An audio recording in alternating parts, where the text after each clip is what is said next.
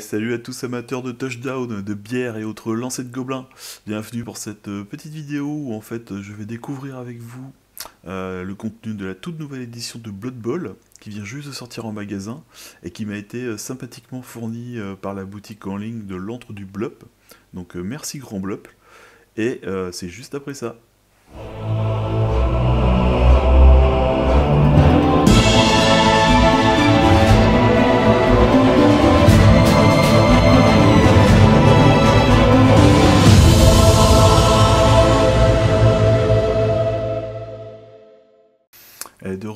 Pour unboxing euh, pour parler comme les jeunes. Donc euh, on se retrouve donc avec une jolie boîte plutôt bien illustrée. Euh, pour une fois, ce n'est pas Morgan Torg que nous voyons en action, mais un orc qui défonce un humain. Donc au dos, on peut voir tout ce que contient la boîte, dont quelques explications. À noter que Blood Bowl est un jeu complet, notez que c'est bien mis complet pour deux joueurs d'au moins 12 ans. Euh, comprendre par là que le jeu euh, est un standalone. Il n'est euh, absolument pas obligé d'acheter du matériel pour continuer à y jouer. c'est un jeu de plateau, ni plus ni moins, et puis pas des moindres. dans cette édition, on aura même le droit à un double, double tapis de jeu, recto verso.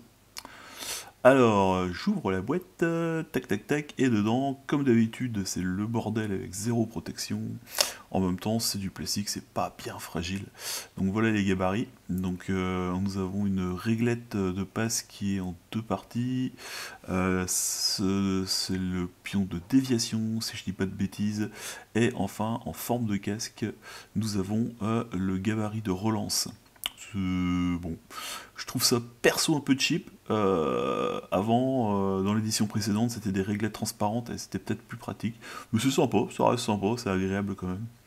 Alors, euh, voici donc la grappe des humains. Donc, sur chaque grappe, vous trouverez 6 joueurs et les grappes sont, sont en double. C'est-à-dire que vous aurez tous les modèles, c'est-à-dire les 6 modèles différents en double, ce qui vous fera une équipe de 12 joueurs. Euh, et la grappe est fournie avec euh, quelques accessoires. Alors euh, il y a une pièce de lancer, il y a un point magnifique qui sera super sur un tank Imperial Fist. sinon, ça va pas chercher bien loin. Il y a quand même quelques ballons, ça c'est sympa. sinon, au niveau détail, je trouve ça plutôt pas mal.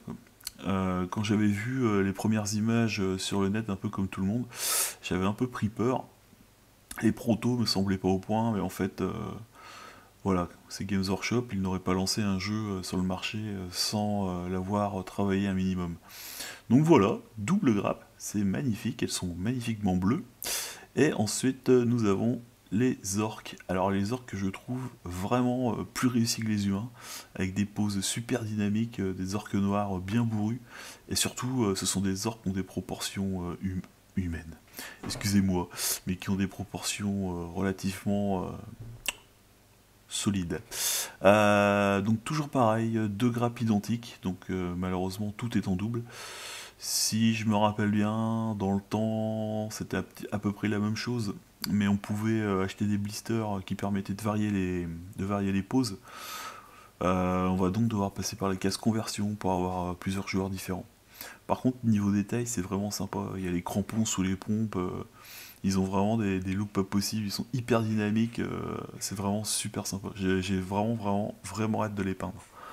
Et ça fait longtemps que j'ai pas peint d'orc. Euh, toujours pareil, une pièce d'envoi de, fournie, des ballons. Ce qui est sympa aussi, c'est que les ballons sont personnalisés vis-à-vis des orques, donc ils sont tout crevés avec des clous qui sortent de partout. Euh, voilà, donc la grappe en double. Ensuite, alors, nous avons des dés. Alors, c'est Ouais, sachant que les dés sont spécifiques au jeu. Euh, je crois, alors je, je, suis pas sûr de mon coup, mais je crois qu'on peut en acheter euh, à part. Et euh, on a deux sets de dés, un bleu et un vert.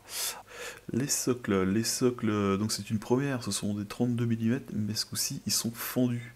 Ils sont également percés. Alors, ils se percés pour qui, pourquoi? Je pense que c'est peut-être pour y mettre un ballon ou autre, je ne sais pas. En tout cas, c'est pas mal parce que le fait qu'il soit percé par en dessous directement, on pourrait y glisser un aimant. Euh, une, une, grosse pub, la grosse pub donc qui nous parle d'Age of Sigmar, de Warhammer 40 000, de l'application Blood Bowl et du premier supplément euh, Zone Mortelle enfin des zones qui est déjà disponible. Et on aperçoit également l'équipe Skaven qui, euh, alors que je vous parle, est en rupture de stock absolument partout. Euh, alors, euh, le bouquin, donc tout fin. En même temps, les règles sont vachement simples. par contre, c'est assez étoffé apparemment, de ce que j'ai compris, on m'en a parlé. Niveau, niveau background, enfin, étoffé, j'exagère, mais il y a des petites choses sympas à lire. C'est fourni avec deux feuilles de référence, donc c'est plutôt bien vu, c'est toujours utile. alors, je vais déchirer le paquet comme un gros bœuf sans abîmer le bouquin. Euh, voilà, ça, ça arrive. Le, les fiches de référence, c'est toujours bien vu. elles sont recto verso avec pas mal de règles récapitulées. Donc les règles de base, hein, pas les règles de Dead Zone malheureusement. Euh, alors, le bouquin, quelques conseils de peinture, ça étoffe toujours le bouquin. Euh, règles, règles avancées. Voilà, des petites phases de background, un petit peu de règles avancées avec des,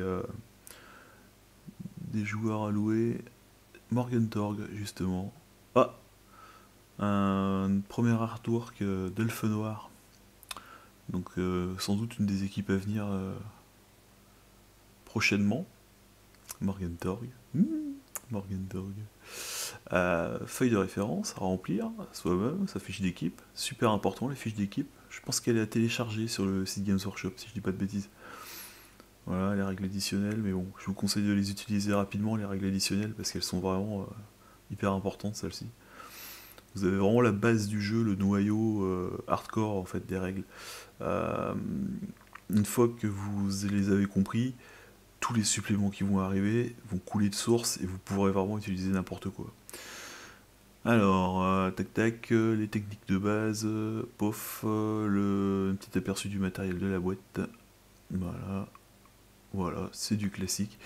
Euh, je pense qu'en fait, le jeu est vraiment fait dans l'optique qu'il peut être utilisé à la fois par des hardcore gamers qui connaissent les jeux Games Workshop sur le bout des doigts et euh, par des néophytes total. Ça peut être euh, un jeune débutant comme des étudiants qui ont envie de se fendre la gueule. Il faut que ça leur parle. Donc le jeu est le livre est simplifié au maximum au niveau présentation euh, et, définition de ce qu'est le Blood Bowl. Euh, un paquet de cartes, ce qu'il n'y avait pas, si je me rappelle bien, dans les éditions précédentes. C'est toujours pratique d'avoir les caractéristiques de ces joueurs euh, sur carte, mais honnêtement, je suis pas certain que ce soit super utile à la longue. C'est-à-dire que normalement, vous devez tenir à jour votre, votre feuille d'équipe. Donc, je ne vois pas trop en quoi. Donc là, je suis en train de défoncer le paquet. Voilà, je mets des papiers partout comme un gros goré, j'ai horreur de ça, mais c'est comme ça, il faut sacrifier euh, son atelier. Tac, tac, tac, je vous jure, je me suis battu pour l'ouvrir. Alors, euh, Blitzer, euh, Thrower, Catcher, Lineman, putain, ils ont même pas traduit ça quoi. voilà, Lineman, Morgan Torg, bien, Varek Mashgul, Griff Overworld. Ah, Zug la bête. ah, ça c'est pas mal par contre. Voilà, les cartes pour les actions spéciales. Et également pour euh, voilà, les cartes spéciales euh, incidents mineurs. Alors je ne les montre pas, vous avez qu'acheter la boîte. ça vous fera les dents. Alors, événements aléatoires, d'accord, bon. Et les star players, bon bref. Voilà, toujours sympa. En tout cas, ça respire la qualité, ce sont des cartes bien cartonnées, assez épaisses. Hop, un petit, euh, vous avez le droit à un petit, euh, un petit coupon pour avoir 50% quand même euh, sur le jeu lorsque vous l'achetez sur Steam, sur Blood Bowl 2. Et ça vous donne également un skin de ballon et de maillot pour votre équipe. Dans le genre cosmétique, on fait pas mieux. donc là, je suis en train de déchirer tout ce qui est. Qu'est-ce que je suis en train de déchirer? Ah ouais, le terrain. Au fond de la boîte, on peut apercevoir les fosses, donc euh, la fosse, les compteurs de points, également euh, les, enfin, les, tout ce qui est blessure. Allez, je vais y arriver, je suis en train de me battre mon matériel, tac tac tac tac. C'est une vidéo très très rapide hein, que je vous mets euh, à chaud avant de, d'attaquer la peinture en fait de la boîte. Donc je me permets de vous la balancer un peu en rush comme ça sans l'éditer. Je suis désolé si parfois c'est un petit peu long. Donc voilà, alors hop, le plateau qui se déplie en 6 composants. Euh, ça a l'air super solide, il est bien épais. Et c'est plutôt joli, il y a une petite impression de relief, alors c'est très très léger. On dirait, ben d'ailleurs je crois que c'est ce qu'ils ont fait, euh, un, vrai, euh, un vrai décor qui aurait été scanné en fait, ou photographié et photoshopé. Et ça donne un, petit, cachet assez unique, c'est plutôt pas mal. C'est plutôt bien vu. Sachant aussi que d'autres plateaux vont sortir. Alors, le jeu ne coûte pas très cher en fait, il doit taper dans les 70 euros. C'est dans la moyenne euh, des, jeux actuels, surtout ceux de Games Workshop et des jeux de cette qualité. Euh, par contre, euh, faut s'attendre en contrepartie à ce qu'on nous propose un max, mais alors un max de matériel à acheter à côté. Alors, les décalcos pour les figurines, pas mal, parce que du coup on les a en blanc et en noir selon la peinture? Donc ça c'est plutôt correct, sachant que les décalcos Games Workshop se sont beaucoup améliorés avec le temps. Euh, je ne sais pas si vous vous rappelez, il y a quelques années, euh, les affreux décalcos qui se décollaient de partout, euh, qui étaient impossibles à coller. Non, c'est fini tout ça. Maintenant, c'est vraiment, c'est vraiment très fin. Et j'ai eu la chance de recevoir un exemplaire donc de Death Zone. Le premier supplément du jeu, donc toujours fourni par l'entre du blob. Merci toujours Grand Blob. On peut y apercevoir ah, ça c'est pas mal. Un arbitre Halfling, quelques Skaven qui sont déjà disponibles au moment où je vous parle. Euh, des orques avec des schémas de couleurs différents. Il est pas mal d'ailleurs ce schéma euh, blanc et vert. Je me suis toujours interrogé sur, euh, sur la grande question faut-il peindre un orc en vert? Enfin, je parle de son armure. Ici, on peut apercevoir un, un arbitre gobelin alors, euh, il y a quelque chose d'intéressant là-dessus, c'est que donc euh, avec des superbes Skaven, d'ailleurs en jaune ils sont super classe. Euh, tout ce qui est arbitre et tout ce qui sera figurine un petit peu, comment dire, ostentatoire, dont on n'a pas vraiment besoin, seront disponibles via Forge World.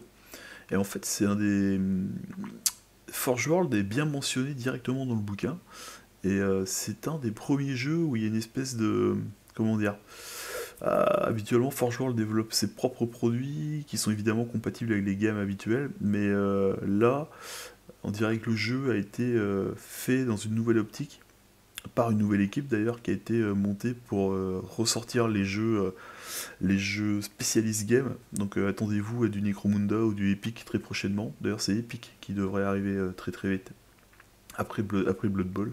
Je crois qu'ils vont en parler en mois de janvier, si mon gros doigt ne se trompe pas.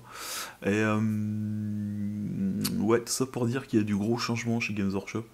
Donc euh, bon, ils n'ont pas sorti ça de leur chapeau. Euh, le jeu est en développement depuis un an et demi.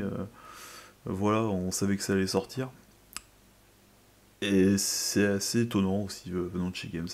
Donc voilà, donc comme je vous le disais, la vidéo, je l'ai faite euh, un petit peu pas l'arrache, mais euh, sans prendre de gants, voilà walou, les fiches.